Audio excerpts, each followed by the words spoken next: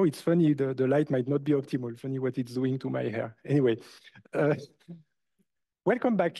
Let's go to uh, lecture number six. So now this is index compression. So we've solved the problem of constructing the indices. How do we scale when the, when the data gets bigger and bigger and bigger and bigger?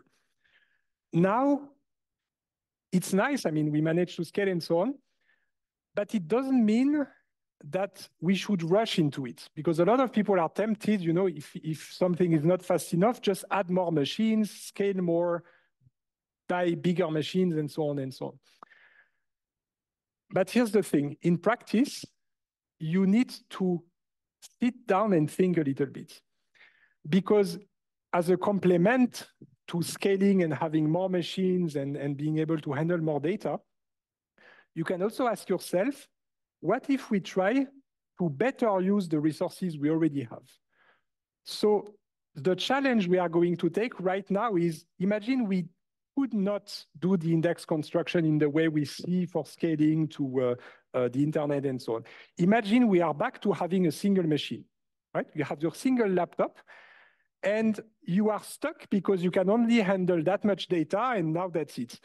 Now if I forbid you to scale to more machines and to use these advanced techniques, there is another way. That way is called index compression. What if we try to squeeze more data into less space? And then at the end, you can use both. You can both compress and use the scaling techniques.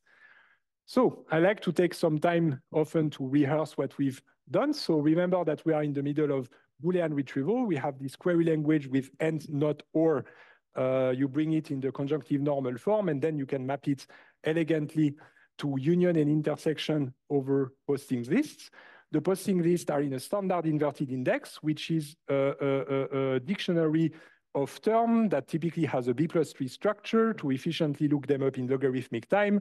They point to a document frequency, which is the number of documents containing the term in purple, and then the posting list in blue, which are ordered lists of document IDs. In fact, these are pairs of term documents, but for efficiency reasons, we put the term only on the left, right? So this is the standard inverted index.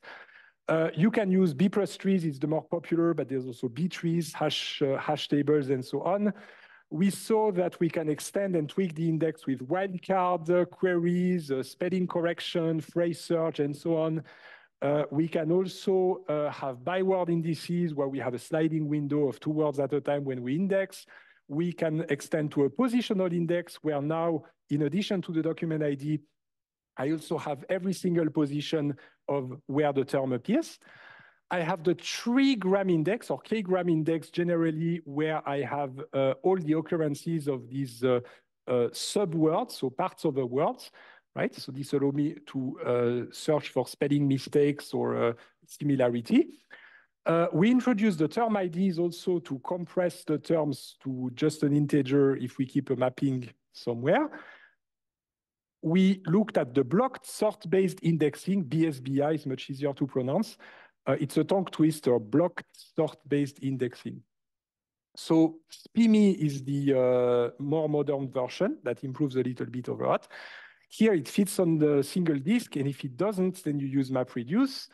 Uh, then if the, if the collection evolves, then you can use an auxiliary index. And the top of the top is to basically use logarithmic merging uh, to, uh, to have a strategical approach to when, you, uh, to when you merge the indices. Which brings us to now compressing.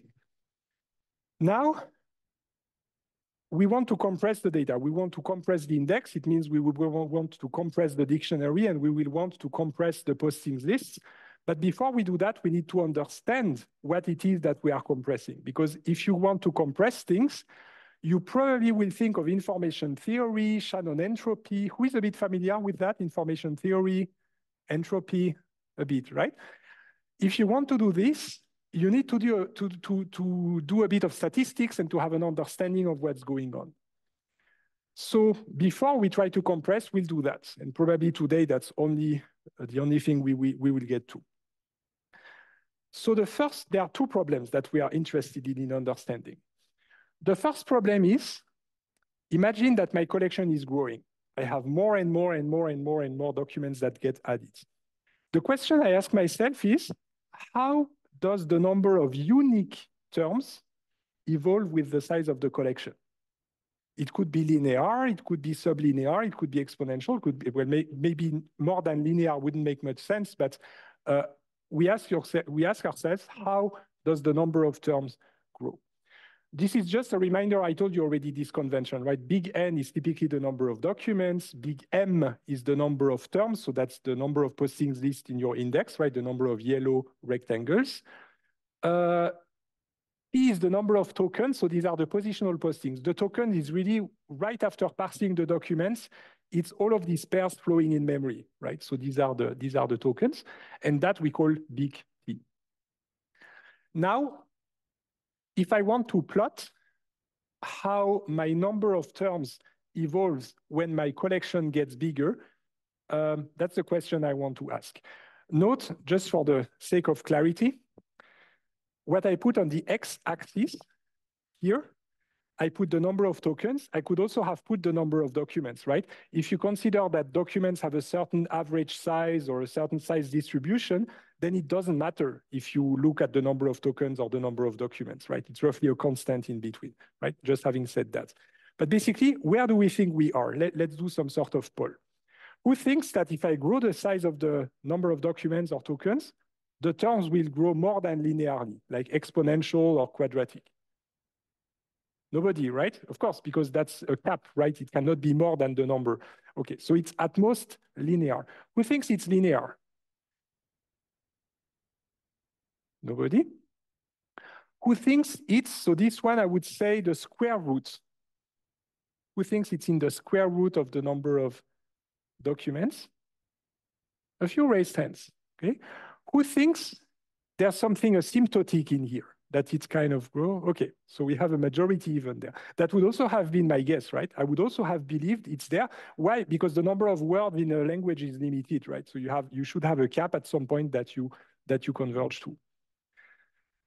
Um, now, if we would like to figure out, we could run an experiment, right? We could just have a plot, accumulate data with various collections and various numbers of terms and so on. Typically, we could do a linear regression, but in order to do a linear regression, we just we might need to apply some transformations. So in fact, what we do in practice is the one that works is a linear regression, but over the log and the log. So you accumulate data points, you take the log of the number of tokens, the log of the number of terms, and try a linear regression, it turns out that it works. You can actually see that in practice, the logarithm of the number of terms is uh, uh, uh, some line, uh, well, not necessarily going through the origin, but it's basically a line in the way it depends on the log of the number of tokens. So now it means that you can express this as log m is some constants times log t plus a constant. If you bring, if you remove the logs and just bring yourself back to the uh, to the linear world, then it's basically some constant e to the a that's a constant times the power of t. It turns out that it works. Now, what is the value of a and b? Only a linear regression can tell us. And it turns out if you do the linear regression, that b is roughly one half one half. One half logarithmically, it means the square root, right? To the power of one half is the square root. So this is surprising. It was also surprising to me, but it turns out that the number of terms evolves in the square root of the number of tokens. So it, it doesn't, it, there is no cap, it doesn't stop, it just continues.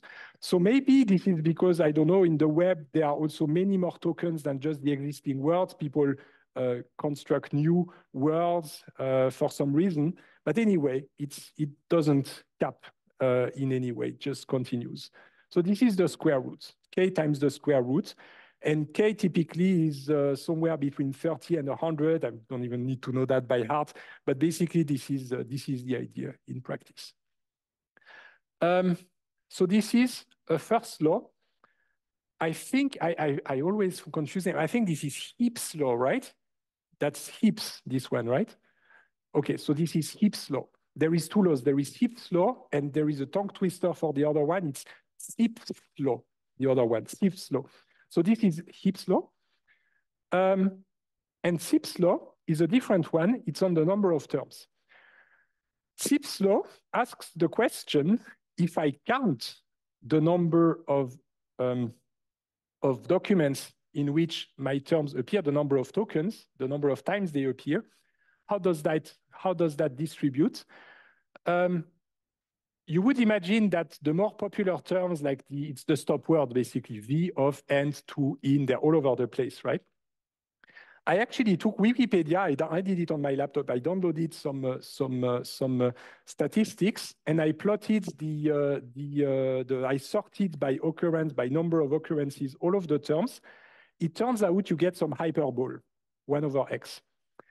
So it means that in the log-log scale, it's again a line, but this time b is minus one. It's not one half, it's minus one, right? So this is absolutely amazing. It means that you basically have this uh, this uh, this thing like the, the the number of times that uh, that uh, it's going to uh, to appear is one over n.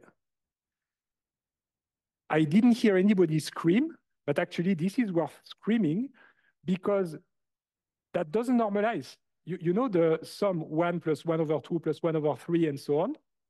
It doesn't converge. That just goes to infinity. So this is also a very surprising result, right? You, you, you might have expected something that, that, that, that converges somewhere, but it doesn't. So this is, again, a very surprising result. So this is called Zipf's law. There is Heaps' law and Zipf's law. Heaps' law is the, the, the, the, the evolution of the number of terms is in the square root of the, uh, of the uh, um, uh, of the number of documents. And here the, the, the, the, the evolution of the, the frequency of appearance of the, uh, of the term, if you sort the terms by decreasing frequency, is one over n, right? So it's a constant divided by the rank. So this is it for today. I just wanted to show you Heaps' and law. Uh, very surprising. I hope that you will still have enough appetite to eat now that, uh, that you know about these two surprising results. But uh, this is it. And then next week, we'll just go into uh, how we can use these results in order to compress the dictionary and in order to compress the posting list. So next week, expect some highly mathematical lecture where we'll, uh, we'll compress a lot of things and squeeze the standard inverted index into less space. Thank you very much. I let you go with uh, two minutes to, uh, to grab uh, your meal. Um, enjoy the exercises uh, with the TA team and uh, see you next week at uh, 10 a.m. for the continuation.